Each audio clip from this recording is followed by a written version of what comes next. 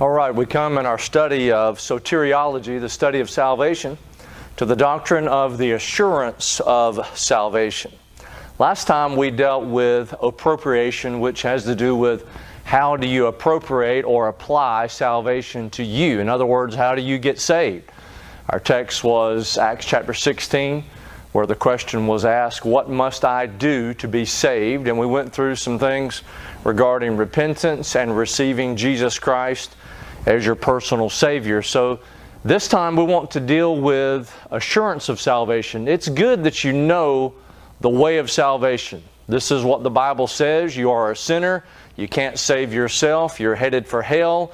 If you don't turn from yourself, your religion, your pride, whatever you're trusting, your unbelief, if you don't turn, have a change of mind, and turned and received Jesus Christ by faith, trusting in His blood atonement, that He died on the cross for your sins, that His sacrifice was satisfactory to God, that He rose again from the dead. If you don't believe that and trust Him as your personal Savior, you can't be saved. But it's good to know that, but if you, if you know that in your head, but if you don't have that assurance and peace in your heart, it's no good just to have it in your head. So we want to deal with assurance of salvation. And so you can't help anybody get to heaven if you don't know for sure that you're going to heaven yourself. Now our text will be 1 John chapter 5. 1 John chapter number 5. A great proof text for the assurance of salvation. Oftentimes you'll talk to people and you'll ask them, well, if you were to die today, where would you go, heaven or hell? And they'll say, well, I don't know. Nobody can know for sure. They'll say, well, I guess I'll find out when I die. That's not what the Bible teaches. That's not what the New Testament teaches. The New Testament teaches, after the resurrection of Christ, that if someone puts their faith in Christ, they can know beyond any doubt that they're going to heaven. Look in 1 John chapter number 5, come down to verse number 9. We'll start in verse number 9. If we receive the witness of men, the witness of God is greater. For this is the witness of God which he hath testified of his Son. He that believeth on the Son of God hath the witness in himself. He that believeth not God hath made him a liar, because he believeth not the record that God gave of his Son. And this is the record that God hath given to us eternal life, and this life is in his Son. He that hath the Son hath life, and he that hath not the Son of God hath not life. Verse 13, look at it.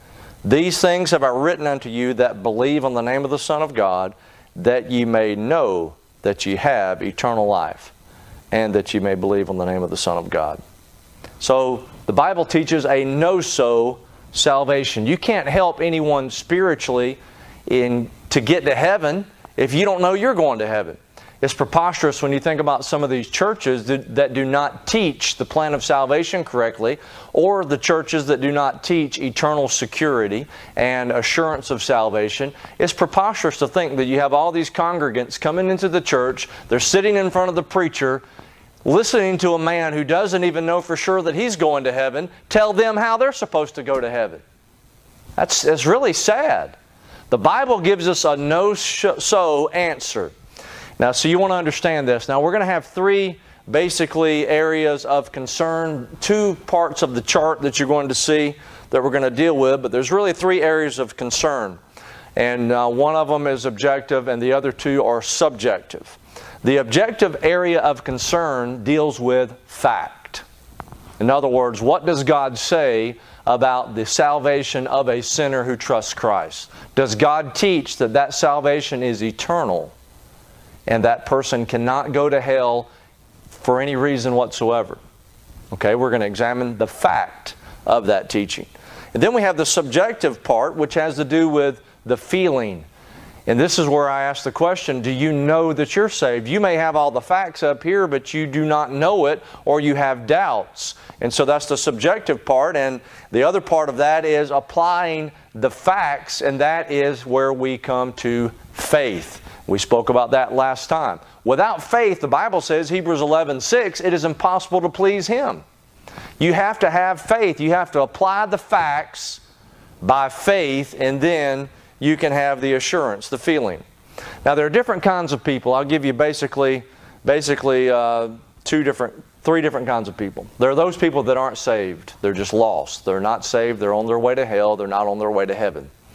Then you have the people that are saved and they are sure about it. They know that they've passed from death into life. They know that they're a new creature in Christ.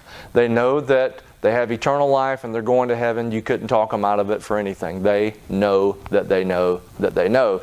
And then you have the third group who are saved, but they have doubts. They're saved, but they do not have that assurance of salvation. And oftentimes it's because of false doctrine that's crept into the churches. As we've mentioned some before, we've dealt with some theological issues that deal with church issues because people attend churches, they hear things from preachers, congregation goes out, they work with people in those churches, they say, Yeah, well, the Bible says if you fall away, you can't get your salvation back. Well, the Bible says you must endure to the end to be saved.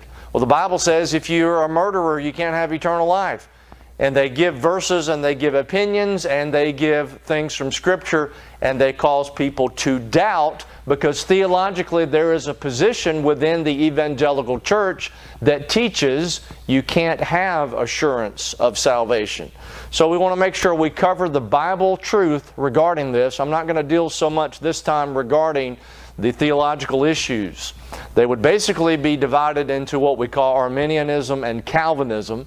The Arminius, Arminianism, ancient Arminianism, comes from a, a uh, theologian named uh, Jacob Arminius, and he proposed that a person could lose their salvation. But the difference between uh, classic Arminianism and what you have with John Wesley is John Wesley would say once you lost your salvation, you could repent of that sin and you could get that salvation back. And of course, you have that prevalent idea in a lot of uh, contemporary evangelical churches today. The other side of the coin is Calvinism that teaches in the extreme forms perseverance of the saints. In other words, you know that you have assurance of salvation because you persevere until the end. The last uh, point in the TULIP acronym for Calvinism, T U L I P, P would stand for perseverance of the saints. So they believe in eternal security but not like the Bible teaches. They believe you know that you're one of the elect because you have good works. So, really, you're not going to know until you get to the end of your life whether you endured unto the end and you had enough fruit to match your salvation to prove that you were, quote unquote, really saved. So, major problems in the theological realm. The best thing to do is just to get in the Bible and let the Bible clear up this idea of eternal security and salvation. So, what is salvation? Salvation means to save or to deliver. In a broader term, it encompasses God's work by which man is redeemed from sin and saved from hell. God's work, okay? So the idea of faith and works comes in, and you begin to think, okay, if I'm saved by grace through faith, Ephesians 2 8 and 9, and that not of yourselves, it is the gift of God, not of works, lest any man should boast. Then if it's God's work, and it's not my work, then why would I think that I could have enough works in order to keep my salvation? So therefore, I am secure in Him because if He saved me, my salvation is contingent upon God, His power, and His promises. Then the idea of forgiveness of sins do you have full forgiveness or just partial forgiveness? You see, when Christ died on the cross, did He die for all of your sins, past, present, and future? And I guess really the question is this Is God really an eternal God, and does He have an eternal salvation? And so when you begin to ask these questions, you have to realize that you never repented, as we mentioned in our last study, of all your sins anyway. You can't remember all your sins, and if you did, you would, your mind would probably cave in on itself. God has forgiven you of all your trespasses by the blood of Christ when you put your faith in His atonement and His sacrifice, and you've been forgiven. It's done, it is finished. Are you saved? Do you have this matter settled? Now, the new versions of the Bible pervert this idea in, in a couple of passages. I'll just give you these. I mentioned the definition of salvation for a reason because it's God's work by which man is redeemed from sin and saved from hell. So if we ask someone, Are you saved? You say, Yeah, I, I, am I'm, I'm saved. I have been saved. There was a day that I trusted Christ and He saved me. He delivered me. He rescued me. Some people can tell you the exact date. Some people can take you to the place where they got saved. But the new versions present a different view. Couple of three verses here, Acts 2.47, they use the term being saved. 1 Corinthians 1.18, in the New King James Bible, for the message of the cross is foolishness to them who are perishing, but to us who are being saved, it is the power of God. You're not being saved, you are saved, or you are not saved. 2 Corinthians 2.15, New King James, For we are to God the fragrance of Christ among those who are being saved. The King James Bible uses the term saved, those who are saved. And so it helps to clarify this idea of once you're saved, you're safe. We use a term when we describe eternal security, we use the term once saved, always saved. Once saved, always saved, or always safe. I'll put that term there. Or you can say saved. Once saved, always saved. It's something that has happened. He saved you. And so you want to understand the idea of eternal security. It's the work, and I'm quoting from a theologian, a good definition, Charles Ryrie. The work of God which guarantees that the gift of salvation, once received, is possessed forever and cannot be lost. That's the idea of eternal security. To be secure. Don't you want to have some security in the most important detail of law, which is your eternal soul? This idea of, I hope I'm saved and maybe I'll make it, that's a terrible way to live. And when you study and when you talk to people that uh, have this idea that they can lose their salvation, they do not have peace. They live their life in fear, and if they're in churches where they try to retread or they try to get people resaved, they're constantly bringing up different sins. And did you really repent when you repented? And maybe you're really not saved. If you fell, if you backslid, you lost it. How do you know you didn't lose it in one of your dreams last night? And so you talk about fear, you talk about a lack of joy, you talk about a lack of peace, you talk about a lack of love and of security in their salvation. It's a terrible way to live. There's no peace. And so we're going to talk about this and we're going to give these scriptures to prove the Bible doctrine. This has to do with the objective material, the Bible doctrine of the fact of eternal security, eternal salvation. Now let me preface it with this. When we go through these verses, we're going to keep in mind the dispensational context. You say, what do you mean by that? A dispensation has to do with a manner or method in which God deals with and dispenses truth to people during different covenants that He operates in. For example, in the Old Testament, God told the Jews to keep the Decalogue, Deca, the Ten, the Ten Commandments. He had the Levitical law set up with all of the rules and regulation and rituals and ceremonies and rites, and those Jews had to keep those things. In Deuteronomy 6, verse 25, he says, It shall be our righteousness if we observe to do all the things that are written therein. That was God's truth for that people in that covenant.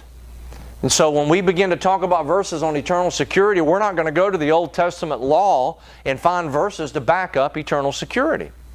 We're also not going to go to some of the transition places like Matthew, Mark, Luke, and John during the time when technically they're still under the Old Testament and they're leading up to the New Testament. Matthew 19, a man asked Jesus, What must I do to have eternal life? He says, If you want eternal life, keep the commandments. That's not what Paul said when a guy said in Acts 16, What must I do to be saved? He said, Believe in the Lord Jesus Christ.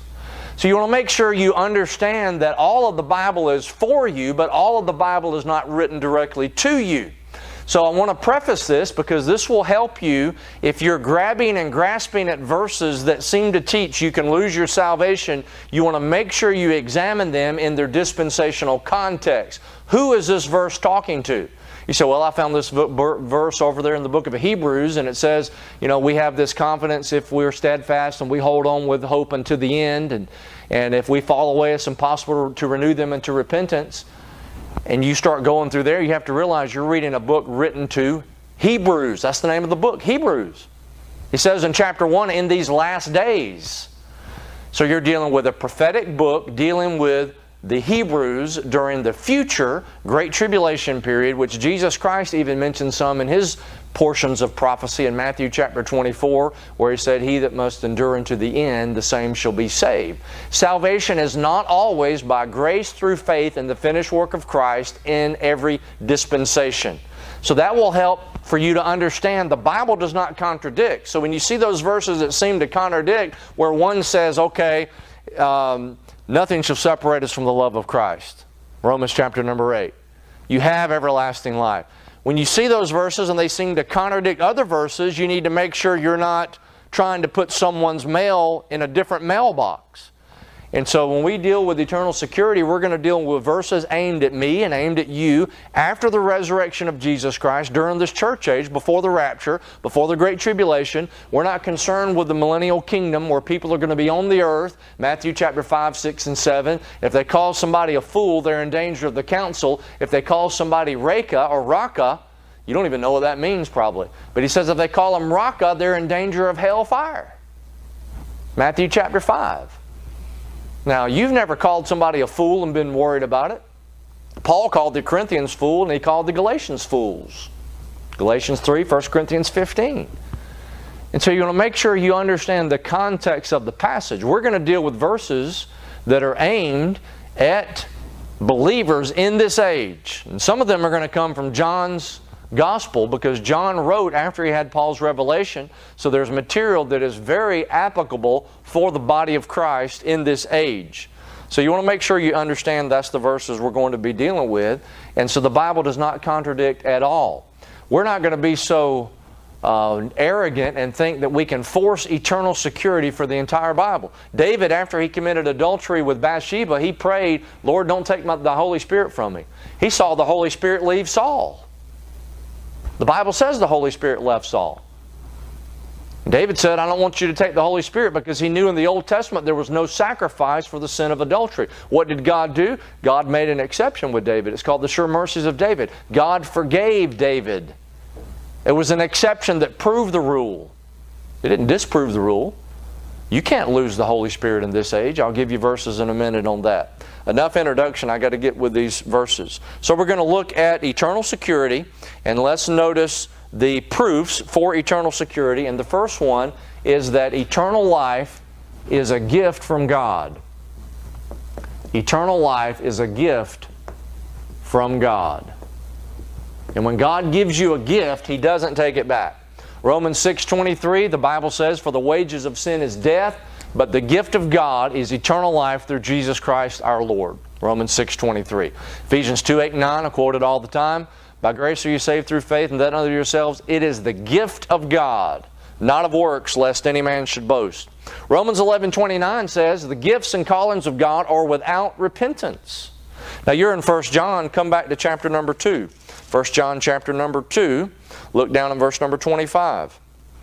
Look in verse John 2 25.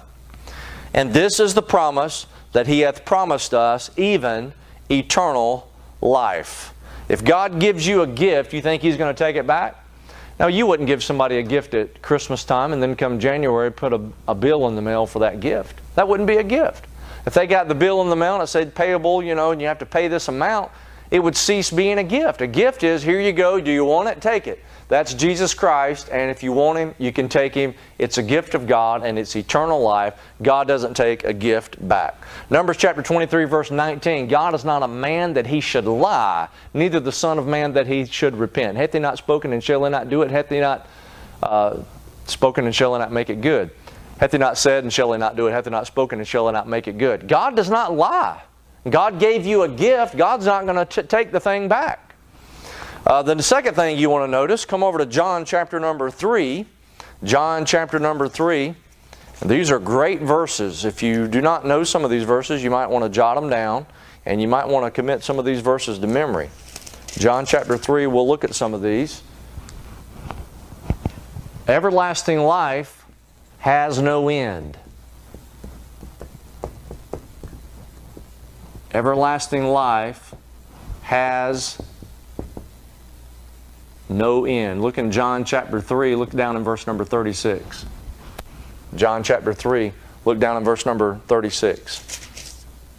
He that believeth on the Son hath everlasting life, and he that believeth not the Son shall not see life, but the wrath of God abideth on him. Everlasting life is never ending life. That's what the word means, everlasting. You're in John chapter 3, turn over to chapter 5. There's several verses here in John. Look in chapter 5. Look down in verse number 24. John 5 24.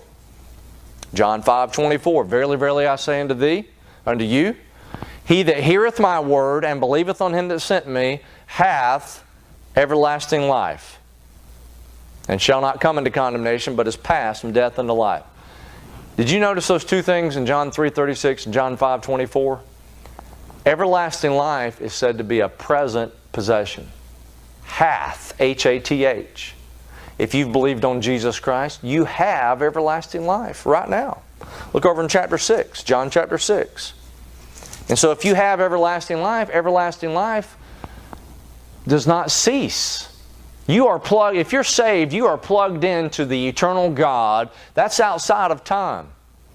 We can't comprehend that. We're in time. But God's eternal. That's neither a past nor present nor future. It's just eternal. Look in John chapter number 6. John chapter 6, look down in verse 47. Verily, verily, I say unto you, he that believeth on me hath Present tense, everlasting life. Look in verse 54. Whoso eateth my flesh and drinketh my blood hath eternal life. Come back over to 1 John chapter 5 where we started out. 1 John chapter number 5. If you're saved, you have Jesus Christ inside of you. If you're saved, you have everlasting life. Look in 1 John chapter number 5. Verse number 11. 1 John 5 11. This is the record that God hath given to us eternal life, and this life is in His Son.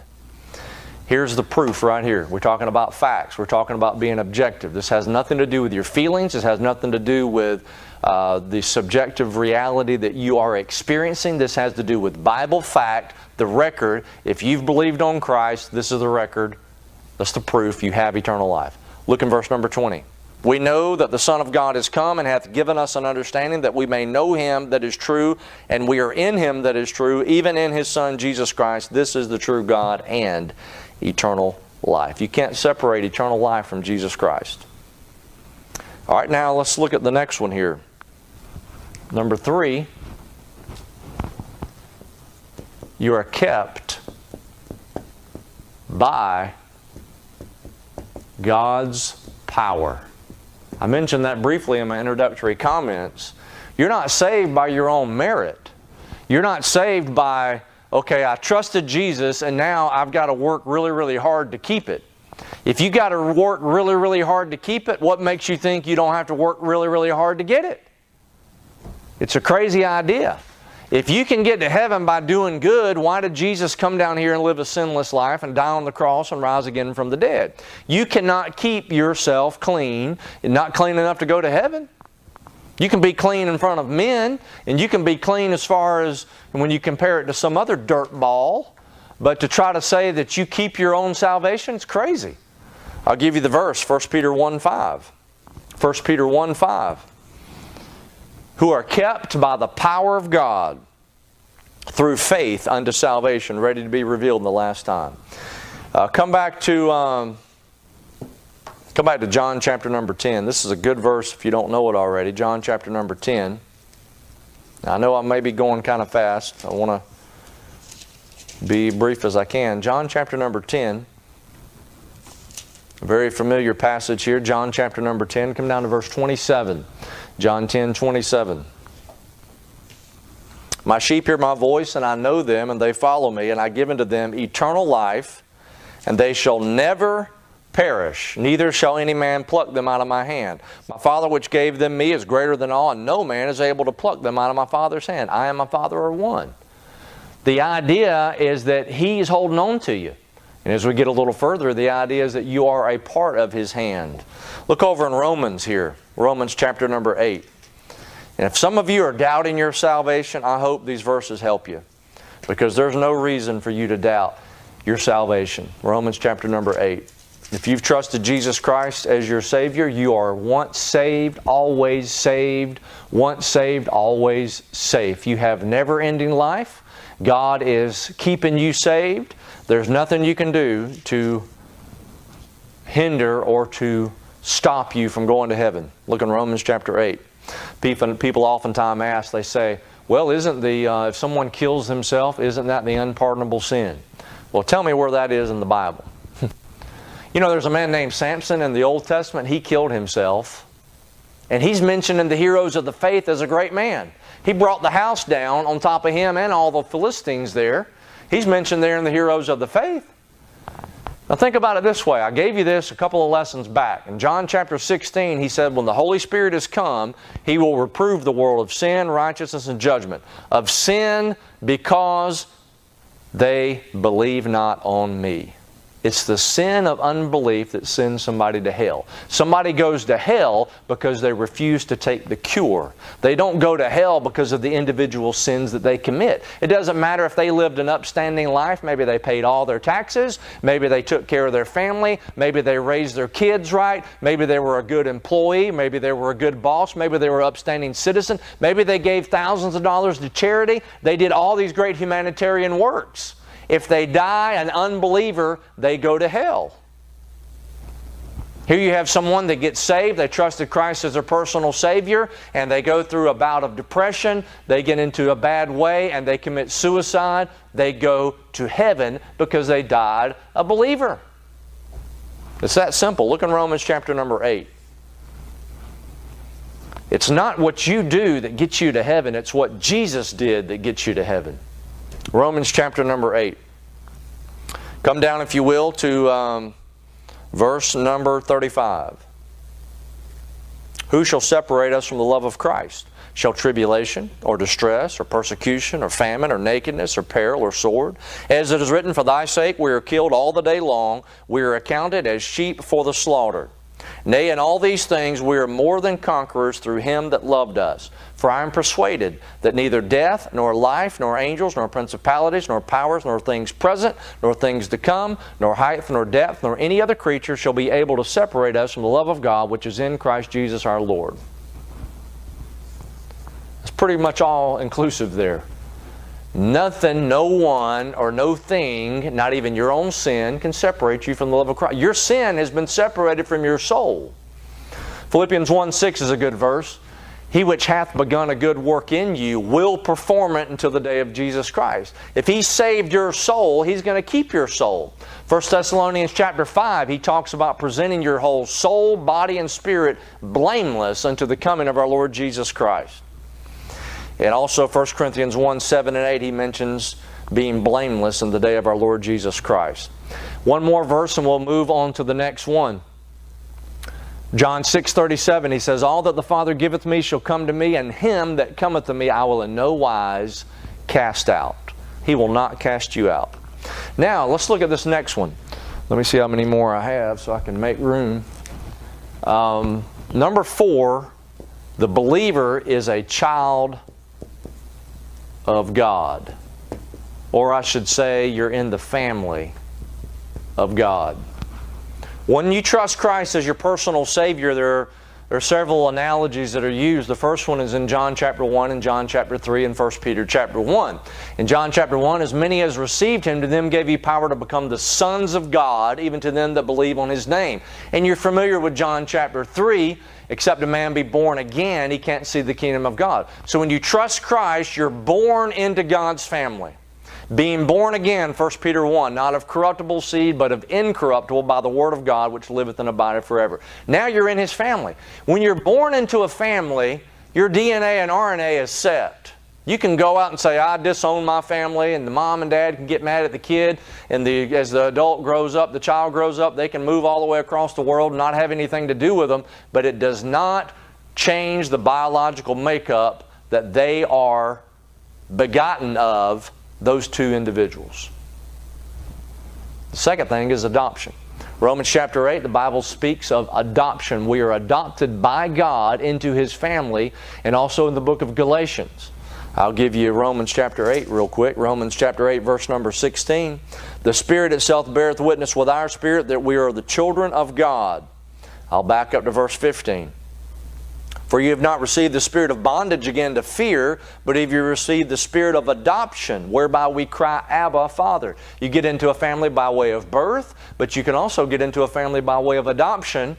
And in many cultures, all throughout the history of man, there's been several cases where adoption landlocks it where you can never get out of that family. If you get an inheritance, the adopted child has full rights of inheritance. You get into a family by way of birth, by way of adoption, and also by way of being married into that family. And Paul, when he speaks to the Corinthians, he said, I present you as a chaste virgin to Christ. We are typified in the Bible as the bride of Christ.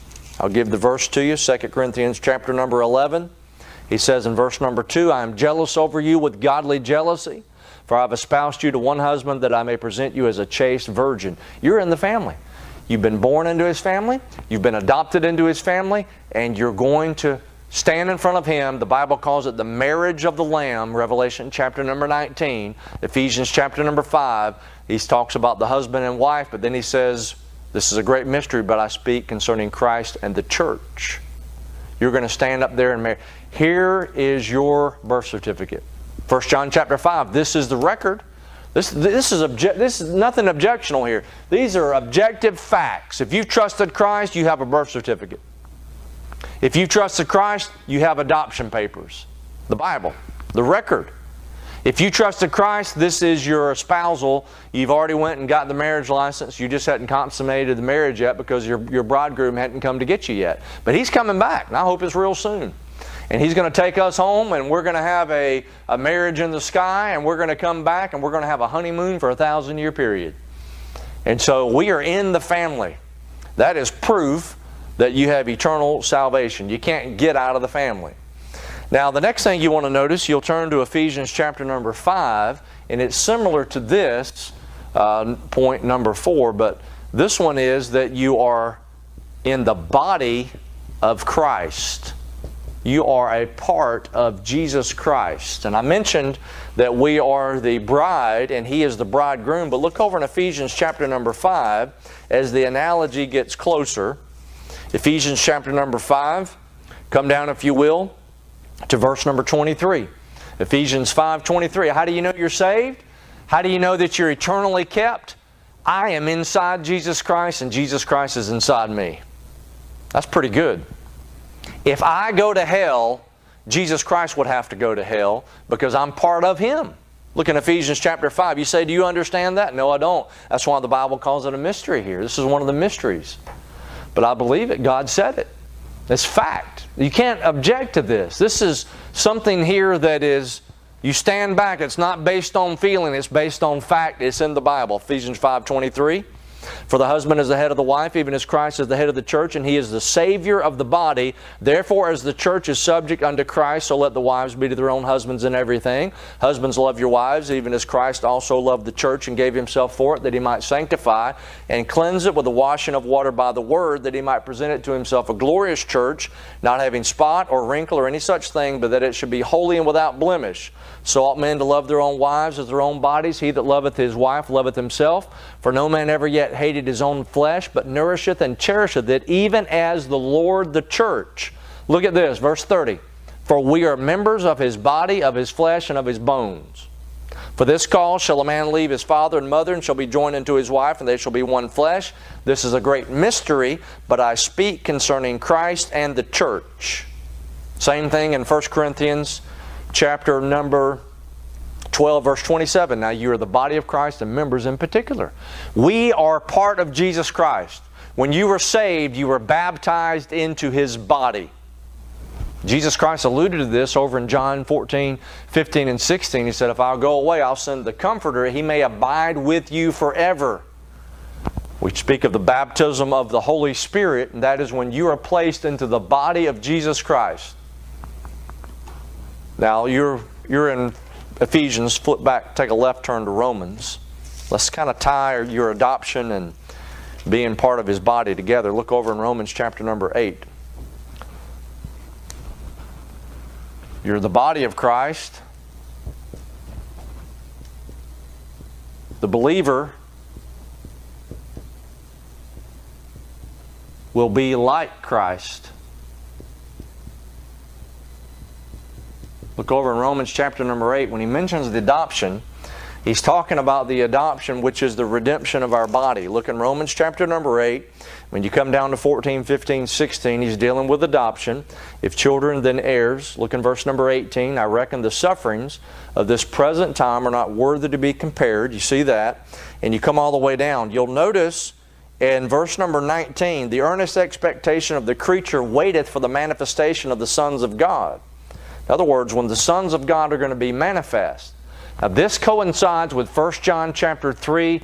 I think I'll wait and we'll turn to that in just a minute, but it talks about us seeing Him and being like Him. In other words, you are a son of God, but you walk around in the earth kind of like Jesus said in John chapter number 3 the wind bloweth where it listeth, thou hearest the sound thereof, but canst not tell whence it cometh and whither it goeth. So is everyone that is born of the Spirit. You can't just look at somebody on the outside and say, oh, that person's saved, that person's saved, that person's not saved. That... You can't tell on the outside.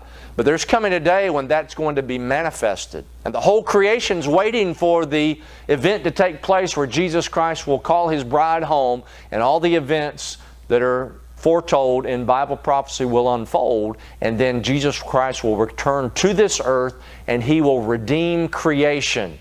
All the destructive uh, geological disturbances that take place during the Great Tribulation, all the, the animal violence, all the, the catastrophe that takes place will all be quieted. And this world is waiting for that. This world is groaning for that. You think about this world and, and, animals and so forth, the animal kingdom, they have to survive by way of death of others, even us. And so that is going to be a relief for the whole creation. Keep reading down, verse number 21 because the creature itself also shall be delivered from the bondage of corruption into the glorious liberty of the children of God. For we know that the whole creation groaneth and travaileth in pain together until now. And not only they, but ourselves also, which have the first fruits of the Spirit, even we ourselves groan within ourselves, waiting for the adoption, to wit, the redemption of our body. That has to do when your body is changed at the rapture and your body is going to be made like unto Christ. Come down to verse number 28. And we know that all things work together for good to them that love God, to them who are the called according to His purpose. For whom He did foreknow, He also did predestinate to be conformed to the image of His Son, that He might be the firstborn among many brethren. Now turn over to uh, 1 John chapter 3. 1 John chapter 3. I gave you some stuff on predestination before. It's four times in the Bible, and it never refers to this idea that God picked some before the foundation of the world to be saved and some before the foundation of the world to be lost. Predestination in the Bible, 1 John chapter 3 is where we're going. Predestination in the Bible has to do with a believer who has made a conscious choice to trust Christ. God has fixed his destination. He's fixed his destination in relationship to his body. You have a body, a soul, and a spirit. When you got saved, your body didn't get saved. Your soul got saved, your spirit was born again, and there's coming a day when He's going to redeem these bodies. That's called the redemption of our body, and that's when the adoption will be completed. The purchased possession has been finally realized at the rapture. Look in 1 John chapter 3. Behold, what manner of love, verse 1. 1 John 3 1 Behold, what manner of love the Father hath bestowed upon us, that we should be called the sons of God. Therefore the world knoweth us not, because it knew him not. Beloved, now are we the sons of God, and it doth not yet appear what we shall be. But we know that when he shall appear, we shall be like him, for we shall see him as he is.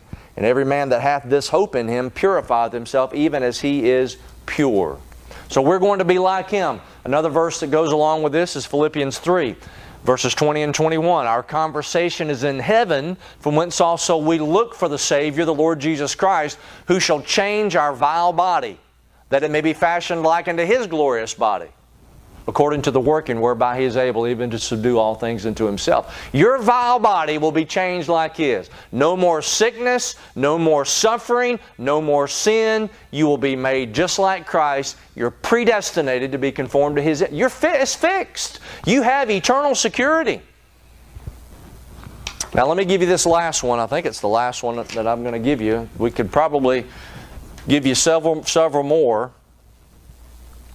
The last one is that you are sealed with the Holy Spirit. Now, this ties into the last one we gave you because you have, if you'll go over to um, Ephesians chapter number 1, you have the Holy Spirit inside when you trusted Christ as your personal Savior. The Bible teaches us that the Holy Spirit came in. And you say, Well, I don't always feel the Holy Spirit. Well, that's not His fault, it's your fault. The Bible commands you to be filled with the Spirit, not Him.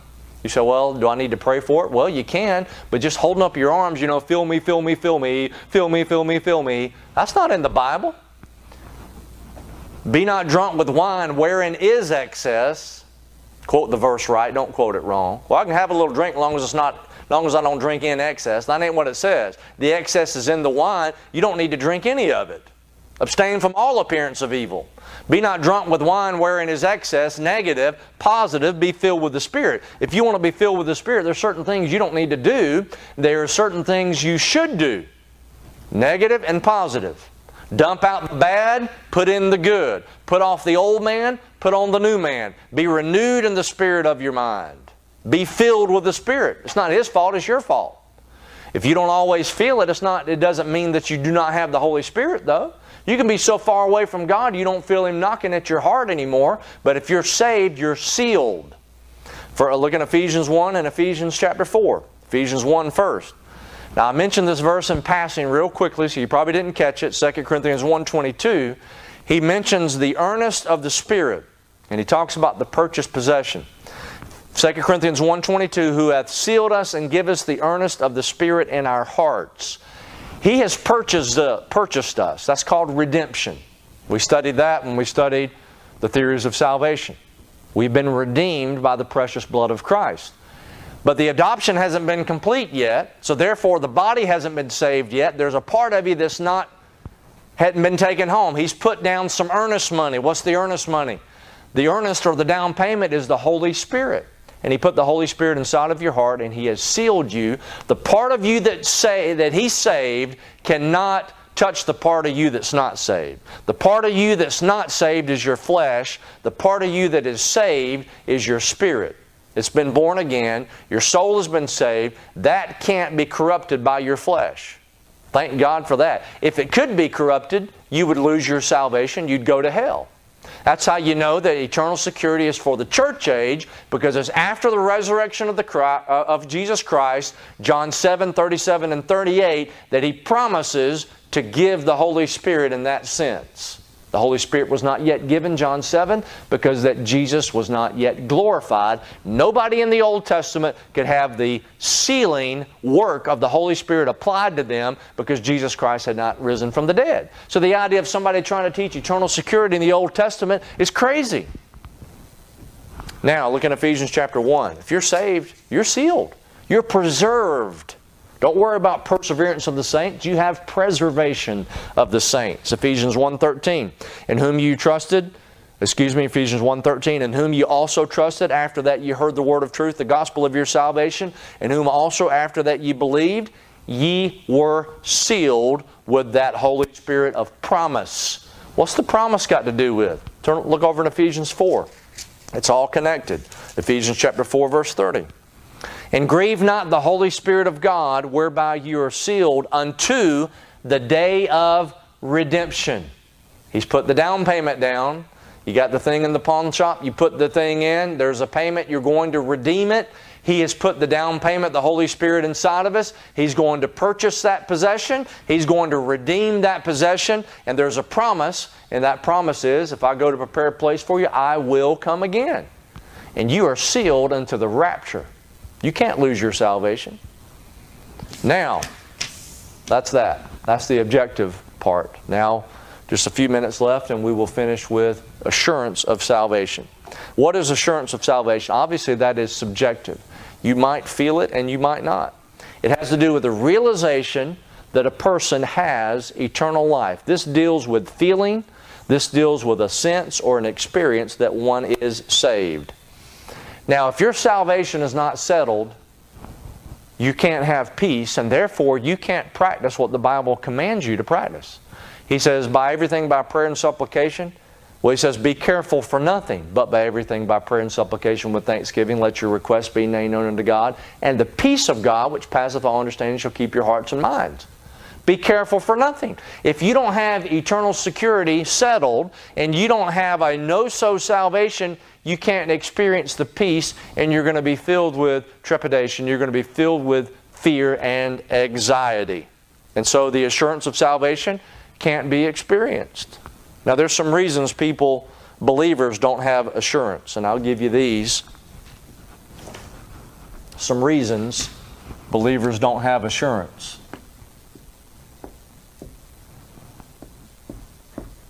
They can't point to a specific time that they got saved. They can't point to a specific time. Maybe they got saved when they were real young and they don't remember even the month that it was in. And they have doubts and they, they don't have it nailed down. It's not real concrete and, and they have problems with their assurance of salvation. Uh, number two, one of the reasons a lot of people have a problems with assurance of salvation has to do with the procedure or the manner of how they were saved. Okay? What does that mean? Well, uh, the preacher might have given an invitation at the church and he said, if you want to trust Christ as your personal Savior, please slip out of your seat and come forward. Or someone might have said, why don't you pray this uh, particular prayer? And so, so on and so forth. And so they have questions regarding whether that procedure was correct. Did I pray all the right things when I prayed? The preacher said, in the best way you know how, ask Jesus Christ to save you.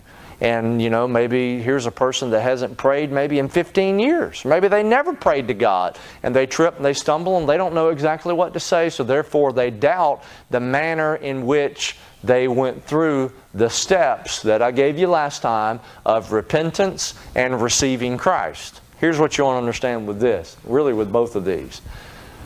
Here's the question Are you saved or are you not? What are you trusting in? Have you trusted in Jesus Christ or have you, have you not? I haven't asked you about when and where it happened yet. Just answer the question. You say, Yeah, I do believe Jesus Christ died for me. I'm not trusting in my good works. I'm not trusting in baptism. I'm not trusting in none of that. I'm only trusting in death, burial, blood of Christ. That's all I'm trusting in. Okay. The procedure doesn't matter. I firmly believe this. The procedure just has to do with helping people with assurance. The specific point in time has to do with helping people with assurance. And that's all that that is. If you say, okay, if you want to trust Jesus Christ as your Savior, why don't you slip out of your seat? And if the gospel's already been given and the person understands the gospel and they are turning from their sins and they're turning from their pride, they're turning from their religion, they're turning from their self righteousness, that whole stuff of repentance that we dealt with. And they are receiving Christ and they believe He died for them, they're saved before they ever get down to the altar. They're saved before they ever repeat a prayer. But there's nothing wrong in helping people have assurance. The danger is, just like I pointed out before, is people begin to look to certain things. They say, Oh, I was saved because I was baptized. Oh, I was saved because I prayed a prayer. I was saved because I walked down the aisle of the church. You want to be careful with that. Number three, people have problems with assurance because of certain sins.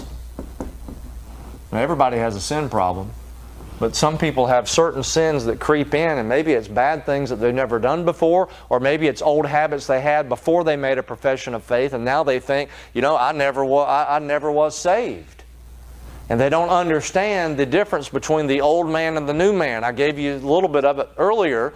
The old man still has the old desires. The old man still wants to do bad. The new man on the inside doesn't want to do bad, and there's a struggle going on, but they don't understand that necessarily. So therefore, they think, I never was saved to start with, or they get confused and they begin to doubt that they can be saved. And so you have to understand this can affect your fellowship, this can affect your joy, and then you say, Well, I must not be saved. Nobody could do the things that I do and be saved. Let me go ahead and say this not giving you a license to sin, but a saved person can do anything any unsaved person can do. You are depraved. Your flesh is depraved. Paul said, I know that in me, Romans chapter 7, that is in my flesh dwelleth no good thing. Here's another problem, number four. People have a lot of problems with assurance because they base their salvation on an experience instead of faith. Now, in this category, you may have people that aren't saved. When I talk about having assurance of salvation, there are people that aren't saved. They shouldn't have an assurance. You know, there are some people that aren't saved, but they walk around thinking that everything's good because they were baptized, or everything's good because they were went to a certain church, or they were baptized as a baby, or they took the communion, or they did the confession, or or whatever it is, or they said a prayer, or their daddy's a preacher, whatever the thing may be. They have a false assurance. Some people base salvation on experience. Now here's the danger. You also have people that are saved, and when they got saved, it was a very emotional and dramatic thing. And then they got out of fellowship with God, and they're not having that dramatic experience on a daily basis, so therefore they think they have lost their salvation or something was wrong and they never were saved to start with. Danger, dangerous ground when you begin to base your salvation on your feelings and on your experience. Your feelings will fluctuate. God's Word never changes. And then finally, and I dealt with this enough, I won't really have to deal with this. Um, they misapply Scripture. In other words, they take verses out of their dispensational context, verses that are aimed at someone in the Old Testament, verses that may be aimed at someone in the future tribulation period, which do indeed teach that they can lose their salvation because their salvation is not by faith and grace in the finished work of Jesus Christ, there are elements of works and so forth involved. Therefore, they go to the book of James, they go to the book of Hebrews, they may go in some places in the book of Acts where you're still dealing with a transition, and they may go to some places in Matthew, Mark, and Luke where you're dealing with a transition, or even the Old Testament, and then they get confused, and now they think that they have lost their salvation or they have to do certain things in order to keep their salvation. Therefore, they don't have peace and they don't have assurance of salvation. Let's close with our verse we started in, 1 John chapter number 5. 1 John chapter 5. It's good to know the plan of salvation, but I hope that you know that you're saved. I hope you have the assurance that you are saved. You say, well, you know, I don't feel saved. Well, you might not always feel saved, but do you know that you're saved? Have you trusted Christ as your personal Savior? You say, well, I can't name the date and the hour. What are you counting on to get you to heaven? Are you counting on the death, burial, and resurrection of Christ? Have you believed on Jesus Christ? You know that it's His blood that made atonement for your soul, that He lived the life you couldn't live. He died for. Do you believe that? Okay. 1 John chapter 5, verse 13. These things have I written unto you that believe in the name of the Son of God, that you may know that you have eternal life. Some of you, you've been going back and forth with this thing and you've been doubting God's Word. You need to pray and say, Lord, Please forgive me for doubting your word. I know I'm saved because I'm trusting you. And if you're watching this and you've never nailed it down for sure, but you do believe in Jesus Christ, why don't you nail it down right now? Lord, I know I'm a sinner. I know I can't save myself. I'm going to write this date down. I am trusting you, and I know what your Bible says. I'm believing on Jesus Christ. I'm putting this date down. I know that I'm saved. Give me assurance and peace that I can know that I'm saved. Lord, thank you for the Scriptures. Thank you for the peace of God that comes from the infallible, inerrant Word of God. We appreciate your love for us and giving us everlasting life. And God, I pray that you might encourage those that are listening, those that may be doubting their salvation, or those that maybe they're not saved, that they would nail it down for sure today. We ask it in Jesus' name. Amen.